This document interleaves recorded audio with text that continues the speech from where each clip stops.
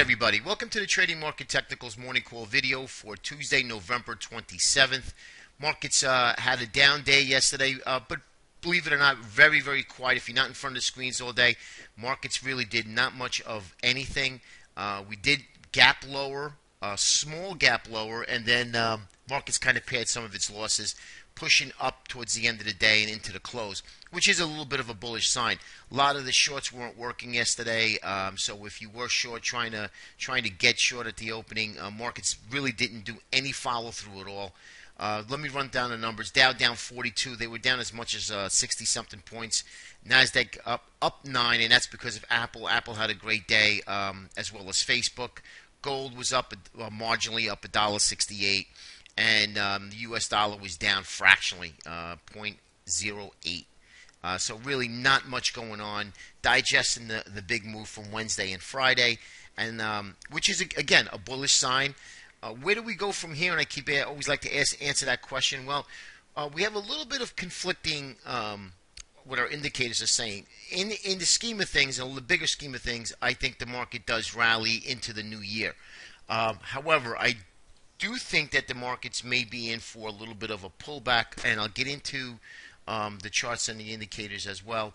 But um, I do see uh, the markets looking for a pullback. Not, really, nothing goes straight up or straight down. We did have a big five-day move um, on virtually no volume, like I indicated yesterday. So I'm looking for. I'm still looking for that pullback. I'm looking for um, whether it be a, a, shallow pullback, but I'm looking for some sort of a pullback so we can buy into stocks. Uh, buying stocks up in these areas or, are, are, at these lofty areas. I, I don't think it's a good recommendation to do. But anyway, let's take a look at our indicators and I'll show you. So we had our gap down into this area on the NYMO and we were down 95%, and then we closed back in it the next day. That gave us the buy signal. Now, the, we've rallied so far, so hard in a short amount of time. Now the NYMO has now given us a sell signal. And obviously it doesn't always have to happen, but I just wanted you to know that on the NYMO we are in a sell signal right at this moment.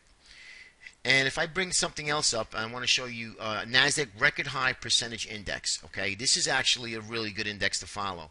And as you can see on these spikes, right, this gave this uh, uh, also gave the buy signal, and I showed you the advanced New York advanced decline, and of course the New York new low um, yesterday. I'm not going to bring that up today, but if you notice that every time we do spike lower and we run up, we always run back down again. See, as you can see here, we pull back. Here we pull back. Here we pull back. Here we pull back, and the same as in the back here. So um, if pattern repeats itself, I'm looking for at least another pullback. Um, so then we can buy into stocks. How deep is the pullback? I have no idea. Obviously, no one knows. But I do feel that a pullback is in the cards. I don't think you can just go straight up. Uh, I think it actually be more healthier for the rally, for a rally to come by the end of the year. I do think the markets will be in trouble in 2013. I'm going to do um, a longer term analysis in the next couple of weeks and put that out there for. We do have a lot of longer term um, investors as well, so I like to kind of uh, take care of everybody, day traders, swing traders, long-term investors as well. But I'll be putting that um, that report out uh, in the next coming weeks or so as we get closer to the end of the year. Now let's take a look at the Shanghai, and I, I look at it on a on a consistent basis. I don't put it out in a report as much because really, unless something's happening, nothing is happening here. Uh, this is a little concerning to me. And although they keep saying China's having, um, they're going to have a, um, a soft landing, I it doesn't look that way. At least the market's not telling us that. So this is something that's concerning to me. Um, and again, if China is uh, uh, going into a tailspin and is going to have a hard landing, it's going to affect our commodities and equities as well. So we're going to monitor that. And I still think that there's a decent China play out there, probably uh, in the next six to eight weeks, which I'll be uh, uh, obviously letting everybody know about that as well. But um, here's so here's the SSEC to Shanghai, really not telling us much of anything. Um, then I want to show you the U.S. dollar, and as you know, the U.S. dollar is king. We did bounce off of support ever so slightly. Now, as you know, the larger picture on the weekly chart, we do have that that um, head and shoulders pattern that obviously has not triggered yet. So that's going to be really the key if we're going to run into a real decent sized rally. And it all depends on when that when the U.S. dollar starts to really fall. Um, that could happen. Now, the dollar could really work both ways with this fiscal cliff issue that we have coming to the year end, um, or can the dollar act as a safe haven? Now, uh, you know, the dollar could get totally destroyed based on all of this debt um, and not worry about being that safe haven um, currency that we have, right? Because really, if you're looking at the currency wise, the dollar is really the only safe currency, uh, safe haven currency there is out there. We have we had the Swiss franc, we had the Japanese yen, and we have the U.S. dollar, right? Well, you could take out the Swiss franc because that's pegged to the euro now, so that's not a safe haven anymore. And now you have the yen, which the yen is just getting totally destroyed, and that's also because of monetary policy that the Bank of Japan is implementing, trying to um, curb that safe haven status that they don't want anymore. So now you have the dollar, and the dollar is the only game in town. So the dollar could act a couple of ways, and that's something that we really need to monitor. It doesn't always have to be inverted to what the markets are doing. Remember that. So it all depends on the shift of sentiment. Um, I think uh, as of right now, the dollar is obviously totally correlated, inversely correlated to what the markets are doing. Um, so if the dollar has strength, the markets and commodities will go lower, and that's still going to stay, stay the same for quite some time. But that could change in 2013, depending on what the fiscal cliff issue is. Uh, it doesn't get resolved by year end. But all of this debt is not good for the dollar as well. But nonetheless, we do have an inverse correlated effect U.S. dollar strength, market weakness. Market strength, dollar weakness. So uh, right now we're just going to take that as stripe. I just wanted to point that out to you on the uh, currency issue. Now we are here at support, so we're going to be looking for a little bit of a bounce and see if we could take out these highs. Now if that happens, we're going to get that pullback that we're looking for. Right now it hasn't happened. Right now the dollar is a little bit weaker in the overnight session, but it's uh, the overnight session has been very, very quiet. Uh, futures up a dollar, dollar and a half right now as I'm recording this. All right, now let's get into the charts, and I, I have also uh, an Apple analysis. I get a lot of emails about Apple again, and it's actually a good, uh, a good stock to analyze on a regular basis because it's so heavily weighted in the Qs and the S&P 500. Now, just to show you the 10-minute chart of the um, SPYs, inside day, really no change, guys. But you see that pop? This is what I like to look for. You see that little rally at the end of the day? Whether it be short covering or not, it doesn't matter. It's still giving you, giving you a bullish bias that we paid a lot of losses. So if the shorts were really diligently looking to push this market down, um, we'd have a little bit more of a, um, at least a weak close going into it. But we did not. We actually rallied into the close. Um, and like we see, as you can see here, we rallied back in here.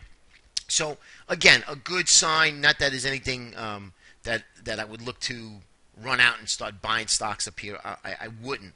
Uh, day trading, totally different story, obviously, because uh, we're looking for the day, trading for the day. Now, um, we're at the 1406 level here, 1409. I think it, the market's going to get have a little trouble at the 1425 area, and that's the, this is the cash here, and that's because we have the 50-day moving average and we have a lot of congestion up top, so we have a lot of overhead uh, resistance. So this is something that I'm going to be monitoring to see if we're going to take an objective short, and that's more than likely what I'm looking to do. I'd love to get a hard run up um, capitulate right up in this area and then start looking for a rollover and fail.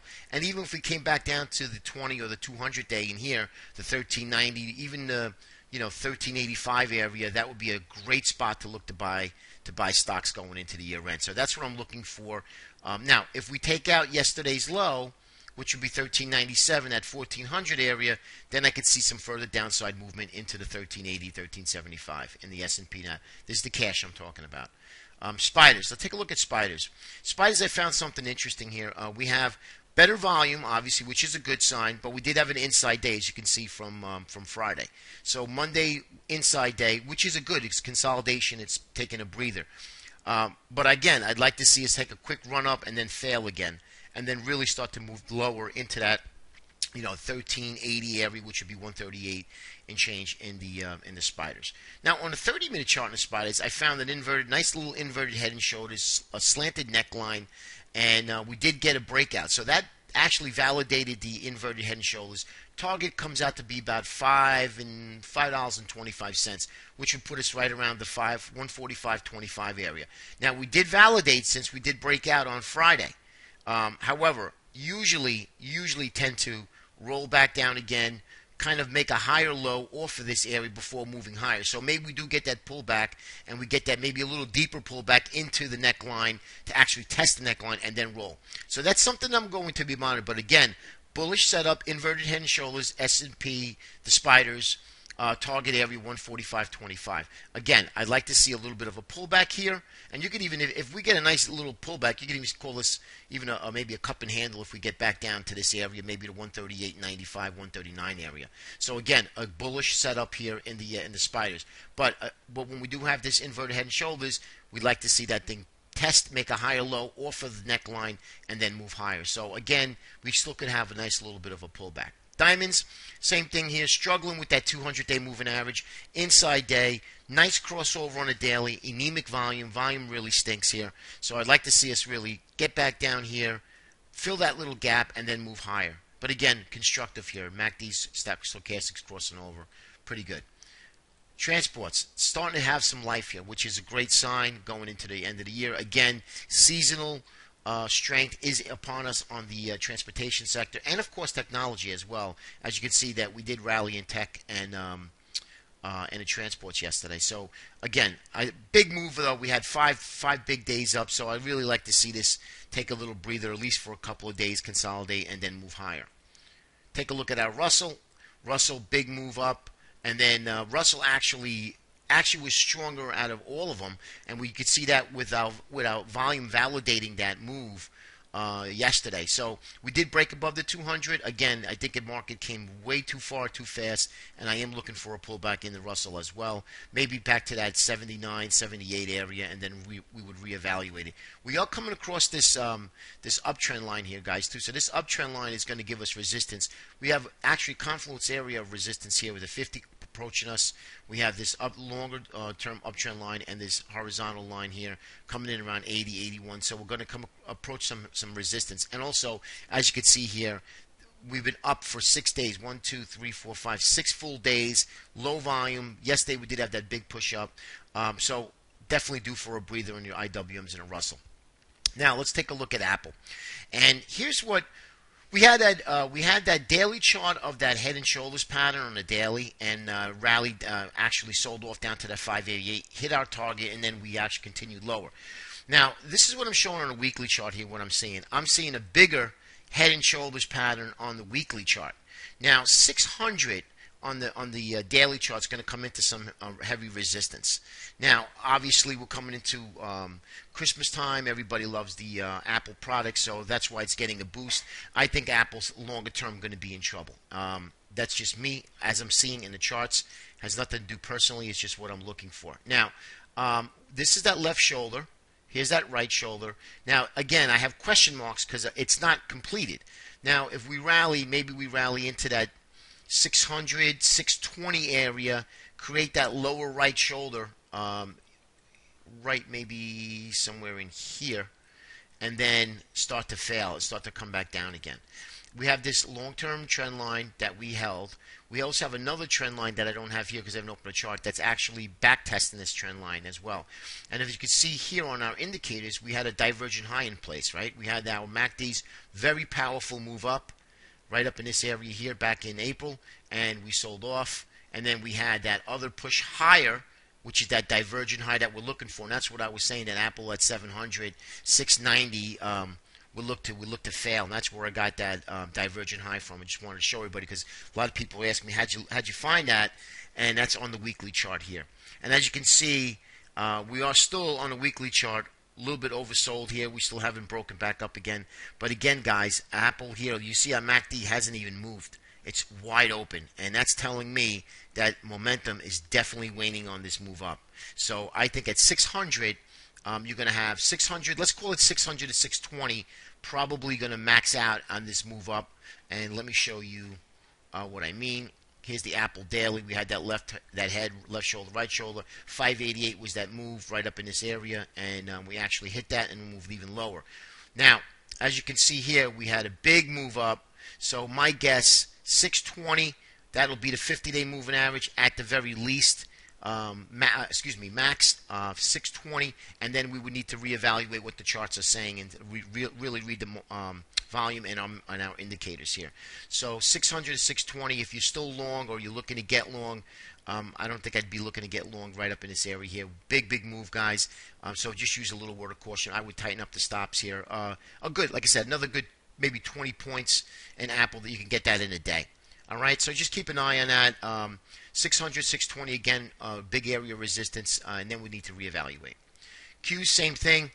Uh, recaptured its 20 day. Uh, really nice little volume here on Friday. Again, with the help of Facebook and, of course, Apple. And uh, right up in this area here, 66, 65 is at 50. Still having trouble with the 200 day moving average. Big head, overhead supply, as you can see here in our volume profiles. Little thin zone area, so if we do break that 200. We could easily test that 50 day moving average. All right, guys, that's it. A little long winded, sorry about that, but I wanted to get that Apple point across. Have a great day. We'll speak to you tomorrow. Take care.